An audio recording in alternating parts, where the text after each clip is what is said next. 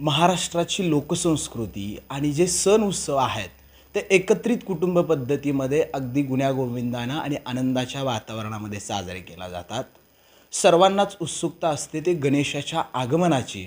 गणपती बाप्पाचं आगमन झाल्यानंतर घरातील गृहिणींची लगबग चालू होते ती गौराईचं आगमन आणि गौराईच्या सजावटीसाठी. आणि आज आपण आहोत वाडीकुरोली या गावामध्ये.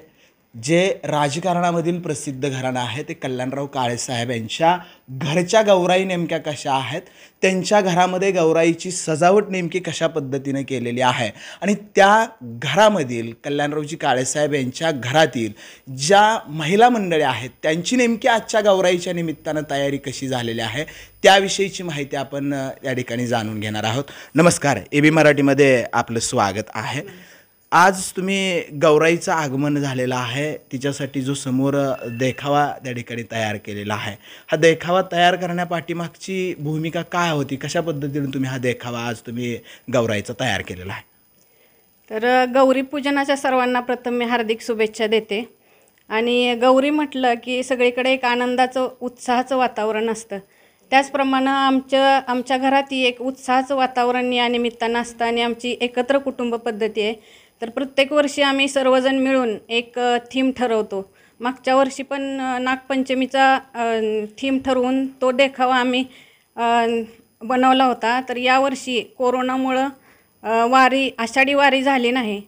त्यामुळं आम्ही आमचं गाव हे वारीच्या वाटेवर असल्यामुळं आम्ही तो देखावा आषाढी वारीचा देखावा या ठिकाणी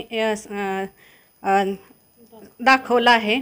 तर आमच्या घरातील सर्वजण लहान थोर मंडळी सर्वजण यासाठी उत्सुक असतात आणि ते सगळा देखावा आम्ही सगळे मिळून करतो घरात. असं कुठून आणून किंवा काय हे करत नाही. घरी सर्वजण मिळून आम्ही करतो.